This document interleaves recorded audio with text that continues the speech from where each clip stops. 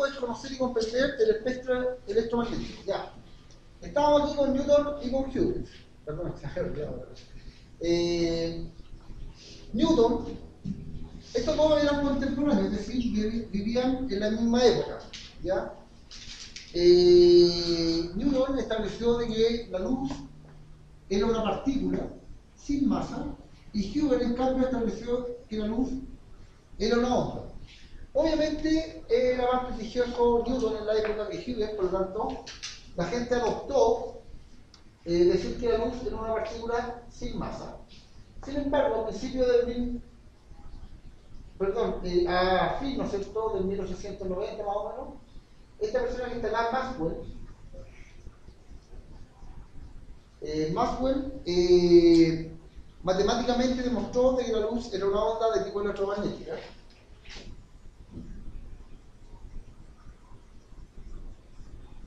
Demostró que la luz era una onda de tipo electromagnética, ¿no es cierto?, que viajaba en el éter. Ya recuerden que Huygens inventó lo del éter, pero de los cuentos. Y en realidad, que era una luz, era una onda electromagnética que podía viajar en el vacío. Eso era lo que él descubrió matemáticamente. Y él lo comprueba experimentalmente. Hertz. Hertz experimentalmente comprueba la teoría de Maxwell, ya que fue la primera persona en emitir y recepcionar ondas electromagnéticas, ondas de radio. ¿Ya? En fin. Y también hizo experimentos con interferencias de ondas de radio. Una onda de radio se sabe ahora que es luz. ¿Ya? Es una onda electromagnética. En fin. Eh, nos fue hasta 1905 aproximadamente, con Planck, eh, en el estudio atómico, ¿no? Porque la luz nace del átomo. De eso no hay ninguna duda. Aquí nadie dudaba que la luz nacía del átomo. ¿Sí? Como la luz nace del átomo, eh, esta teoría no servía. ¿Ya? No servía para explicar como onda electromagnética. ¿Por qué? Porque hay un problema en los orbitales. Entonces Planck, basándose en los trabajos de, de otros científicos, estableció de que la luz corresponde a una partícula llamada fotón. ¿Ya? Llamada fotón. Eh, y esta partícula se origina en el átomo. ¿Cómo? De la siguiente manera. Este núcleo atómico, el núcleo atómico tiene protones de carga positiva y neutrones, ¿ya? Generales, dependiendo del elemento, ¿cierto? Eh, y además posee orbitales. Posee distintos orbitales acá. No los voy a dibujar completos, pero son orbitales. Para, que el electrón esté en uno de estos orbitales tiene que tener cierta energía. Para que el electrón esté dentro de esos orbitales tiene que tener cierta energía. Los orbitales, este es el núcleo, ¿ya? Es el núcleo lógico. Estos son los orbitales. El orbital 1 tiene un nivel de energía 1, el orbital 2, nivel de energía 2, nivel de energía 3, nivel de energía 4. Estos niveles de energía que tienen los orbitales son cada vez mayores, a medida que más lejos del núcleo atómico. Es decir, y si aquí hay un átomo orbitando, ese átomo, perdón, si aquí hay un electrón orbitando en torno a este átomo, a este núcleo atómico, quiere decir que ese electrón tiene más energía que otro electrón que está orbitando acá. ¿Ya? Posee más energía. El electrón que está más lejos del núcleo atómico orbitando es el que tiene más energía. Y cada uno de estos orbitales aguanta al electrón con cierta cantidad de energía, no más ni menos. Ya a veces se le llama cuantización. Quiere decir que para estar aquí, por ejemplo, por dar un ejemplo, solamente por dar un ejemplo, ¿no? solo por dar un ejemplo. Supongamos que para estar aquí necesito 1000 joules de energía. La energía se mide en joules, ¿ya? Es una unidad de mediano. Supongamos, ¿ya? Es un ejemplo absurdo, pero para que lo entiendan. Y supongamos que para estar acá, en este nivel de acá, necesito 4000 joules de energía. Para estar acá, eh, 2000 joules, por ejemplo, de energía. Para estar acá, 1500 joules. Solamente estoy dando un ejemplo arbitrario, no es así, ¿ya? Pero para que más o menos entiendan esto. Si el electrón tiene menos de 1000 joules, no puede estar ahí, no orbita ahí. Si el electrón tiene más de 1000 joules, profesor, si el electrón tuviera 1250 joules, todavía estaría aquí, dando vueltas, estaría acumulando más energía. Cuando la energía que acumula el electrón, supongamos que una fuente calórica le está dando energía al electrón. ¿ya? Hay calor externo. ¿sí? Como por ejemplo el sol, que está emitiendo calor, hace que los átomos se comporten así. ¿ya? Si recibe energía este, este electrón y su energía sube de 1000 joules, porque está en este orbital, para estar en este orbital tiene que tener 1000 joules mínimo, ¿ya? y subió a 1200 joules, después subió a 1300 joules, después subió a 1400 joules, pero no, sale de ahí, queda, queda donde mismo. No puede estar aquí entre medio. ¿Ya?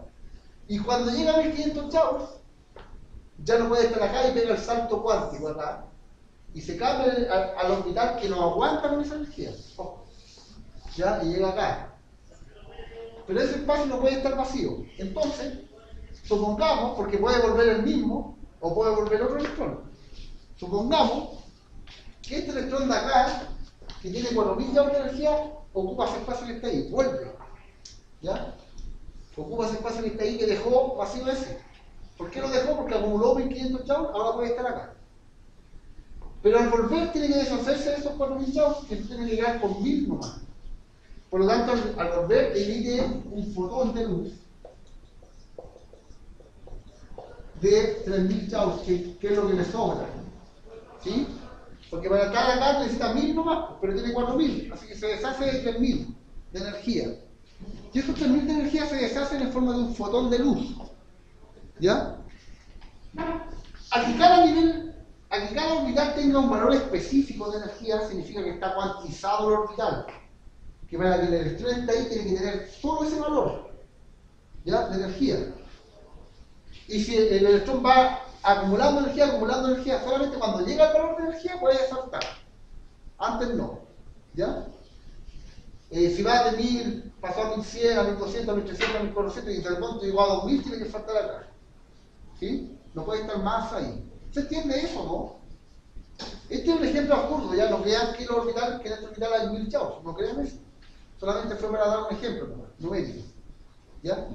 Eso significa que está cuantizado el átomo, ¿ya? Y el nivel del salto cuántico va a depender si bota más o menos energía, la intensidad o la energía del fotón de luz, ¿ya?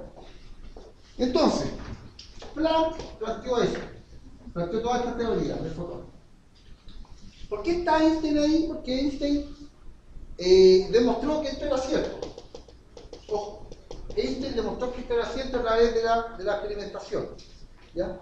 a través del efecto fotoeléctrico. Einstein demostró que cualquier metal que le llegue luz va a soltar electrones. ¿Ya?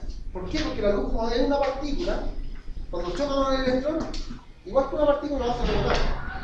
Si yo tengo, cuando usted juega las bolitas, por ejemplo, o si jugaba alguna vez, alguna vez jugó, yo cuando era chica había un juego se llamaba las la bolitas, y uno hacía chita, ¿no es cierto? Había una bolita ahí y uno la sentaba por una bolita, chita, y chocaban. Y las dos bolitas salían disparadas para cualquier lado, ¿no es cierto? Pasa lo mismo en la luz. El fotón también es una bolita, es una partícula. Cuando choca con un electrón, le transmite energía a ese electrón a través de un choque. ¿Ya? Entonces el electrón puede ganar esta energía a través de un choque con otro fotón y va, va a pasar a un nivel mayor de energía. ¿Se fija? O si no, si es mucha energía, sale disparado para afuera del, del, del átomo. En fin, eso no importa, pero ahora vamos a nombrarle algo que hizo Einstein, ya con respecto a la luz. Y de Broglie, que fue este científico de acá, de Broglie demuestra matemáticamente, eh, con una fórmula preciosa, demuestra, y simple por lo demás, demuestra que la luz tiene una naturaleza dual. Se comporta como una onda y también como una partícula. Si se comporta como una onda o como una partícula, cumple todas las propiedades de la onda. Las partículas, los fotones cumplen todas las propiedades de la onda.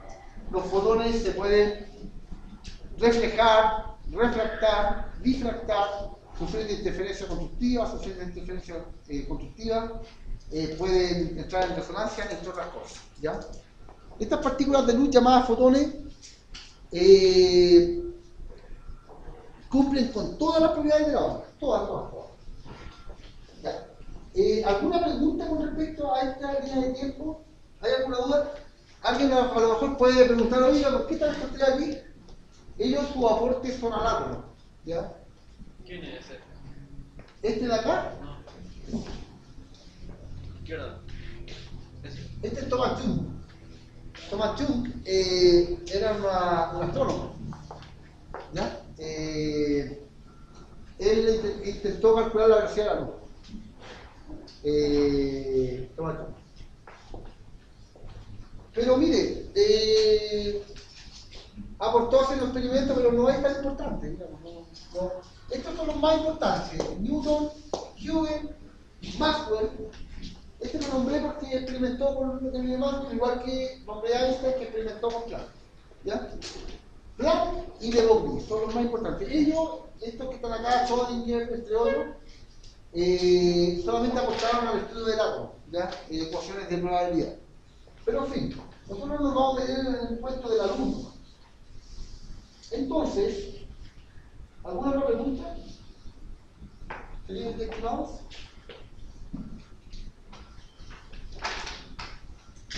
¿Ninguna? Como resumen de la clase anterior tenemos lo siguiente. Lo importante de la clase anterior es esto.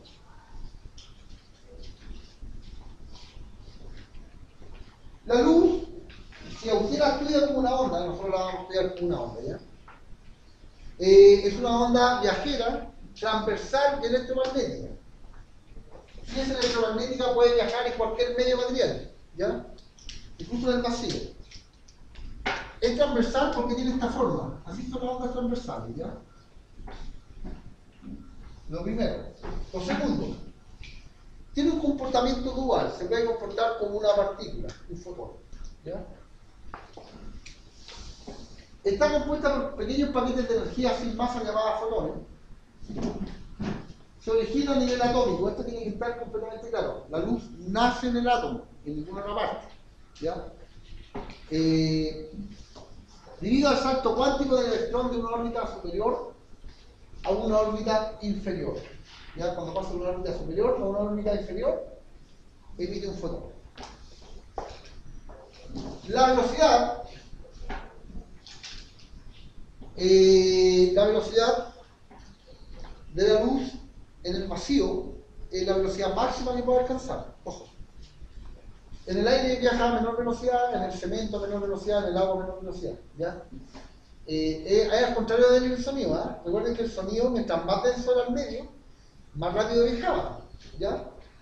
En el sonido, por ejemplo, la velocidad del sonido en el aire era 340 metros por por segundo, en cambio en el agua eran 1500 metros por segundo. El sonido aumentaba su velocidad, mientras el, el medio material por el cual viajaba era más denso. En cambio acá la luz es al revés. Mientras más denso es el medio material, más lento viaja. La luz viaja más lentamente en el diamante. ¿ya? El diamante es el material más denso, más duro que hay en el planeta. Por lo tanto, la luz ahí viaja con menor velocidad. Viaja, mire, en el vacío, en la velocidad máxima de la luz, ese número que está ahí es esto, mire. 1, 2, 3, 4, 5, 6, 7, 8. Viaja a 300 millones de metros en cada segundo. Un número muy grande. Para que lo vean un poco, o sea, un poco, entre comillas, mejor que se aprenda que la luz viaja a 300.000 kilómetros por segundo. 300.000 kilómetros por segundo es lo mismo que 300 millones de metros por segundo. Ya que un kilómetro son 1000 metros. O son. Un kilómetro corresponde a 1000 metros. Por lo tanto, si yo divido 1000 aquí, elimino 3 ceros y me quedan 300.000. ¿Sí? Kilómetros por segundo. Es una velocidad muy, pero muy alta. Es la velocidad máxima que puede alcanzar una partícula sin masa, como los fotones. Las partículas con masa no pueden alcanzar nunca esa velocidad. Acaso. En fin. Se pueden acercar. Por dar una idea, la velocidad de la luna en diamante, cuando viaja dentro del diamante, es de 220 mil kilómetros por segundo aproximadamente. ¿Ya? Disminuye en el diamante. En fin. Eso como dato curioso. Ya. Ahora sí. Eh, ¿Están escribiendo eso, no? ¿Alguno? Ya, a ver. Eh, ¿Os saben una foto? De todas maneras, todos estos diapos en clase. Ok. Pregunta. A cualquiera puede responder, ¿eh? Dice, respecto a la luz, ¿es correcto afirmar que?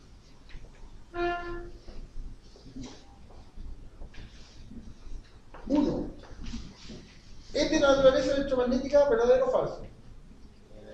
Verdadero. Y si hubiese aparecido por aquí, la luz es un fotón, sería verdadero, ¿no? También, ¿ya? Dos, ¿es una onda transversal verdadero o falso? Verdadero.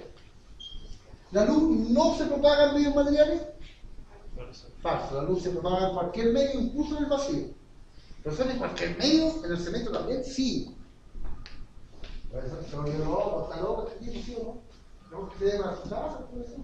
Está loco. ¿Cómo se le ocurre decir que la luz viaja en cualquier tipo de material? Sí, sí, sí viaja. Lo que pasa es que hay luz que ven los humanos y hay luz que no ven los humanos. Al igual que el sonido, el sonido había frecuencias, ¿se acuerdan? Que se podía escuchar de 20 Hz la mínima y de 20.000 Hz la máxima. La luz también tiene esa propiedad con respecto a los humanos. Hay luz visible y hay luz no visible. ¿Ya? Y lo vamos a ver ahora. A esa luz se le conoce como espectro electromagnético. Con respecto a la pregunta, la verdadera es un ¿no es cierto? Con respecto a la pregunta. Ahora sí. Esto que aparece acá se llama espectro electromagnético, se ve como mal. ¿Por qué no? Se ve mal, pero no importa, ya les dije que estaba en su, eh, en su gráfico, así que yo voy a tratar de hacer lo posible para que entienda esto aquí ahora. En un segundito, hay que tomárselo con paciencia esto. Eh, esto pasa porque dejan los datos perdidos. Y esas barras son antiguas y son unas ampolletas. Esas ampolletas se gastan, se gastan niños. Por eso que ahora se ven así. Yo seguro que cuando estaban nuevas se veían baratas. Y cuando se va el profe lo dejan vendido. Y que dura un tiempo nomás. Dura algo así como 5.000 horas, no más. Eh, después de la hora 2000 en adelante empieza a bajar Como este. Ya. Chiquillos, eso que están leyendo ahí es el sol. ¿ya? El sol emite muchas clases de luces. Sus nombres son los siguientes. Onda de radio. ¿Profe, la onda de radio es una luz? Sí, es una onda electromagnética. Eh, las microondas. ¿Lo uso para calentar la comida? Sí. ¿Es un tipo de luz, profe? Sí, un tipo de luz. Que no ven los humanos. Estoy nombrando las que no ven los humanos. ¿ya? Pero las podemos sentir, tenemos otros sentidos para sentirlas. Viene la luz infrarroja. Infrarroja, ¿ya? Que es la responsable de transmitir el calor. ¿ya? Eh, uno siente esta radiación. Cuando usted está frente a una estufa a parafina o a gas, ya busquemos una parafina, que es más fácil para mí. ¿Sí? Una mesa antigua. Ustedes si se fijan esta estufa antigua, este filamento se ponía en rojo vivo, ¿sí o no? ¿Sí? Bien rojito. Ya. Y uno, si se ponía por acá, le tiraba las manitas, ¿no es cierto? Cuando tenía frío, eh, sentía el calorcito, ¿no es cierto? ¿Sí o no? Ya, ese calorcito que usted siente eh, es transmitido a través de la radiación, ¿ya? De la luz infrarroja. ¿ya? La luz infrarroja transmite el calor. Bueno, todo esto transmite el calor también, pero la luz infrarroja lo que tiene especial es que puede entrar en resonancia con cualquier material. Es fácil que entre en resonancia con cualquier material, por lo tanto transmite mejor el calor que cualquier otra onda. Es la que lo transmite con más eficiencia. Es más eficiente la transmisión del calor a través de la infrarroja.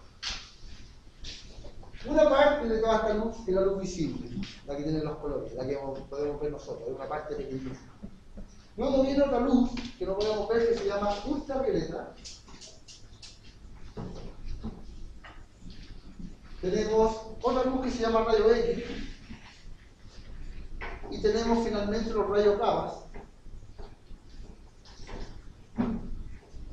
Y los rayos gamma eh, son los que tienen más energía. A ver. Aquí arriba está representada esta onda, miren. Fijan esa línea blanca que tiene eh, ondulaciones, es la representación gráfica de esta onda.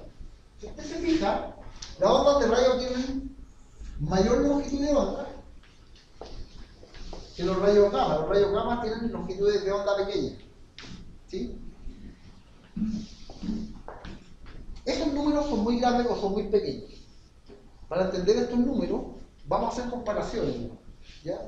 Yo no saco nada colocarle aquí, mire, eh, el tamaño en metros de la longitud de onda del rayo gamma es el siguiente. Yo no saco nada con El tamaño en metros de la longitud de onda del rayo gamma es 10 elevado a menos 14. ¿Usted entiende eso? No, no la matemática, estoy, ¿entiende el número, lo que significa ese número? No, pues no se puede, eh, eh, uno, el ser humano es limitado en ese sentido. Si yo, yo puedo escribir este número, no hay ningún problema. 0,1, 2, 3, 4, 5, 6, 7, 8, 9, 10, 11, 12, 13 y 14. Metros. ¿Número periódico? Metros. No, no es periódico, tiene fin, infinito. Es el fin del número. 0,000000001 metro. Es dividir el metro en un montón de partes. Ese número usted y yo, yo que he estudiado esto, lo puedo dimensionar aquí. Yo no he visto nada que tenga esa, esa chica. Para simplificar este estudio, lo que yo les voy a explicar acá, para simplificarlo, yo no olvídense de este número. Vamos a hacer comparaciones con objetos. Por ejemplo, por ejemplo, miren, existen ondas de radio corta largas y existen ondas de radio cortas. La onda de radio larga, su longitud de onda, puede llegar a tener el tamaño de una montaña, hasta el tamaño de un edificio de 100 metros ¿ya? de altura. Esa es la longitud de onda de las ondas de radio eh, largas, las ondas de radio largas. Y las ondas de radio cortas pueden tener una longitud de onda del tamaño de un edificio de 100 metros hasta el tamaño de un ser humano. Entonces las ondas de radio pueden tener tamaños de su longitud de onda desde el tamaño desde el porte de una montaña hasta el porte de un ser humano. Esos son los tamaños de longitud de onda. ¿ya? Para no darle número, ¿se fijan? Para no darle número, le voy a dar ejemplos de cosas. El tamaño de la onda de microondas, ¿ya? La onda de microondas va desde el ser humano hasta el tamaño de un objeto, de un bicho. De una abeja en este caso, que está dibujada. La infrarroja, el tamaño de la longitud de onda desde la punta de un alfiler. ¿ya? Ese es el tamaño de la longitud de onda eh, de una radiación infrarroja, que es luz, que no, el ojo humano no ve. Me estoy saltando los colores, ¿ya? Una parte de la luz visible la estoy saltando y quiero explicar esto. De aquí para allá, estas longitudes de onda son peligrosas para el ser humano ¿ya? y para cualquier animal. Incluso para la vida misma, los vegetales también. Y algunos vegetales ya no, resisten, ya este tipo de rayos. ¿ya? Eh, otros sí, ¿ah? la mayor parte de los, de los vegetales sí aguantan la luz ultravioleta. La luz ultravioleta tiene un tamaño entre un protozoo entre un protozoo y una molécula. Y una molécula. Es el tamaño eh, de la luz ultravioleta. El tamaño de la longitud de onda me refiero, ¿ya? De la luz ultravioleta está entre un protozoo y el tamaño de una molécula. Eh, ya, como tiene la luz ultravioleta tiene el tamaño de una molécula y es de alta energía, voy a ver el artículo por qué es de alta energía eh, empieza a hacer daño a nivel celular. Eh, profe, usted está diciendo que el sol emite rayos ultravioleta, ¿sí? ¿Emite rayos X? Sí. ¿Emite rayos gamma? Sí. ¿Y estos rayos son peligrosos, profe? Sí. ¿Y por qué estamos aquí? Por la atmósfera, nada más que por eso. La atmósfera es una especie de filtro que permite que entren una parte de la luz ultravioleta, entra en la atmósfera, ¿ya? hasta las ondas de radio que emite el Sol. El Sol emite ondas de radio. ¿ok? Eh, y todas estas longitudes de onda alta, perdón, eh, longitudes de onda chicas, ¿cierto? de frecuencia alta, no las deja pasar por la atmósfera. La atmósfera terrestre nos protege de este tipo de radiación. En fin, sigamos acá. Los rayos X tienen el tamaño de un átomo. ¿Ya? Los rayos X tienen el tamaño de un átomo. Y son usados para sacar radiografía. ¿Sí? Eh, ¿y esa radiación es peligrosa? Sí, pues. ¿Y cómo me mandan a sacar una radiografía y yo voy y no me pasa nada? Claro, porque lo que es peligroso es el tiempo de exposición. Usted va a ir un ratito y va a recibir un golpe de radiación pequeñita, además que son rayos gamma, perdón, rayos X de baja energía, o sea, hay rayos X que son de baja energía y hay rayos X que son de alta energía. Los de alta energía son para otro tipo de cosas. Los rayos X de baja energía son usados para sacar radiografía. ¿ya? En fin, y lo último son los rayos gamma que tienen el tamaño de un núcleo atómico. ¿El tamaño de qué? De la de onda me refiero. El núcleo atómico. El tamaño de los rayos gamma, de la longitud de onda, es el tamaño del núcleo atómico. Por eso es que son los más peligrosos. Porque son capaces de chocar con el átomo, con el núcleo atómico y desarmarlo. ¿Por qué? Porque tienen una alta frecuencia, mire. Eh, la parte de arriba muestra números de frecuencia. En Hertz. La frecuencia mínima que tiene una onda de luz, la onda de radio, 10 elevado a 5 Hz. 10 elevado a 5 Hz. ¿Qué número es esto? 1, 2, 3, 4, 5. 100.000 Hz. Es la frecuencia mínima de una luz. De la luz que tiene menos energía, la frecuencia está en la luz relacionada con la energía. La energía de la luz está relacionada con la frecuencia. Entonces la que tiene menos energía es la onda de radio la que tiene más energía es el rayo gamma porque tiene mayor frecuencia. Mire, la frecuencia del rayo gamma es el siguiente. 10 elevado a 22 Hz. 10 elevado a 22 Hz es la frecuencia del rayo gamma, es decir, 1, 2, 3, 4, 5, 6, 7, 8, 9, 10, 11, 12, 13, 14, 15, 16, 17, 18, 19, 20, 21, 22 Hz. Son súper peligrosas ¿por qué? Primero, tienen el tamaño, longitud de onda del núcleo atómico y tienen esa frecuencia de vibración. ¿Saben lo que significa 100.000 Hz de frecuencia? Significa que esta onda vibra 100.000 veces en un segundo. En un segundo vibra 100.000 veces. Va y viene 100.000 veces la onda. Está vibrando así 100.000 veces. Así. Así. ¿Ya? Eh, el cambio rayo gamma tiene una vibración muy grande y se dice que es la que tiene mayor energía. De toda la luz que hay, la que tiene mayor energía es el rayo gamma. Como en el tamaño de un núcleo atómico puede chocar con él y al chocar con él con esa frecuencia y esa energía lo destruye. ¿Ya? Eh, o puede provocar daños serios a nivel atómico. ¿Ya? La gente que experimentó rayos gamma, porque no solamente los, usted los puede formar en, eh, se forman en el Sol, ¿no es cierto?, en las estrellas, sino que los rayos gamma también se pueden formar de forma artificial, a través de la desintegración radioactiva. Una bomba nuclear, una bomba atómica. ¿sí? En el año 1945, parece que fue, o 47, lo pueden corroborar con su profesor historia eh, cuando Japón se rindió ante los aliados, eh, se rindieron los japoneses porque les tiraron dos bombas. Tiraron dos bombas atómicas. Esta es la parte fea de la ciencia, pero hay que contarla, hay que ser sincero. Hay que contar el cuento, cómo fue. Eh, claro, porque uno cuenta siempre lo lindo de la ciencia, pues no, no, ahora tenemos ondas de radio, ahora nos comunicamos por teléfono, ahora tenemos internet, mire la maravilla. Uno muestra las aplicaciones de lo que es la luz, son todas aplicaciones de la luz esas.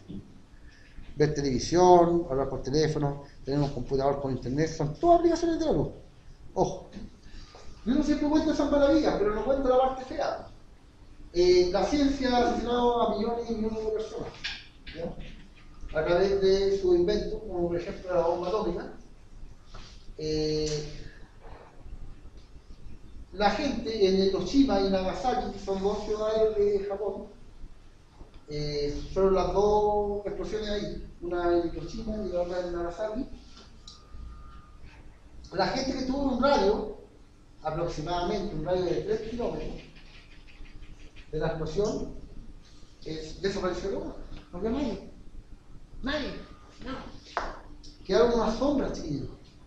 Eh, por ejemplo, por dar un ejemplo, hay- en internet uno puede buscar eh, sombras que quedaron de la bomba atómica, de personas, que. Eh, no sé, pues si usted iba caminando, ¿no es cierto? Por su casa con su hijo de la mano y lo vio la radiación, usted iba mirando esa radiación. La radiación me, me pegó aquí, se empieza a desintegrar mi átomo, ¿no cierto? Y la otra radiación sigue de largo y se golpea en el muro. Entonces hay un instante de tiempo en que la primera radiación toca el muro y la otra no lo toca porque me está tocando a mí, me está desintegrando. En ese momento nas- eh, saltan ciertos aceites humanos hacia el muro y queda una marca, igual que una sombra ya de la persona. Y miren imágenes en internet de eso. En Hiroshima y Nagasaki, eh, no sé, por dar un ejemplo, hay un niño que está jugando, está tirando un trapito, tirando un hilo, y aquí atrás de él había un muro, ¿no es cierto? Y le llegó la radiación, alguna radiación chocó en el muro y proyectó una sombra. ¿Ya? Quedó ahí la sombra del niño el muro. El niño desapareció y quedó sombra marcada en el muro. Oye, se fue. En fin. Y para más remate, para lo peor de todo, es que las bombas no estallan cuando, cuando tocan el, cie- el suelo.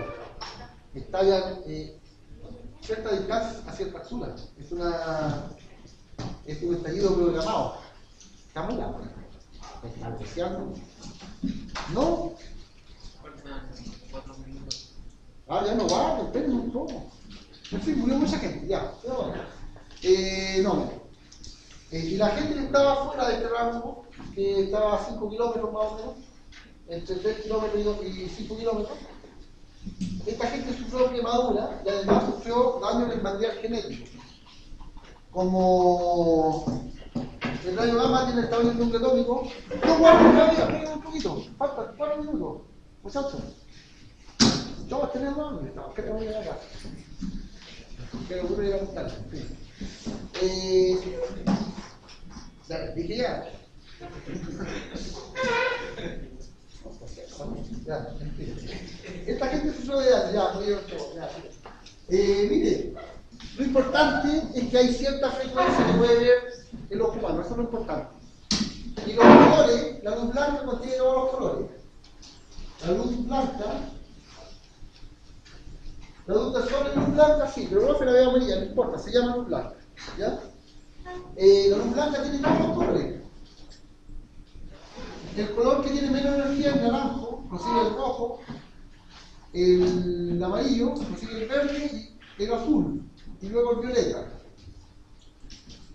Así están ordenados los problemas menor a mayor energía. ¿Ya? Ya va, ¿eh?